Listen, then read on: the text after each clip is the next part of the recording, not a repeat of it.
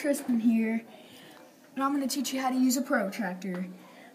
Using a protractor, you have to keep it really still.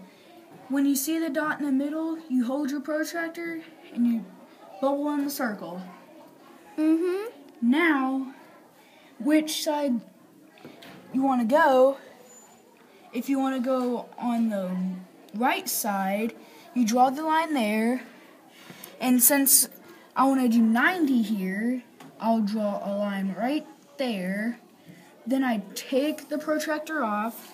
Then I use the sharp side to make it even so I can line line it in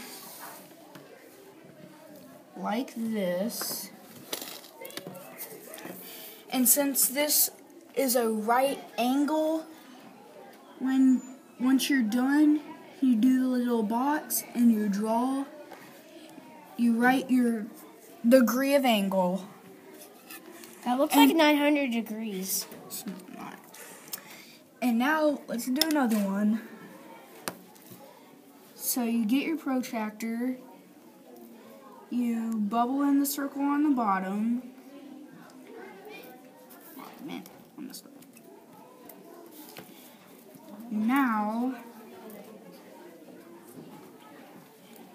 we can do it on the left side. And now I want to do 50 degrees.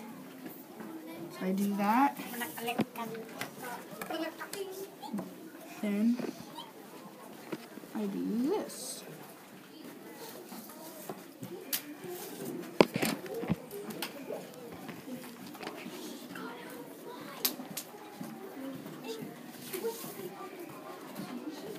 This is 50 degrees. Bye.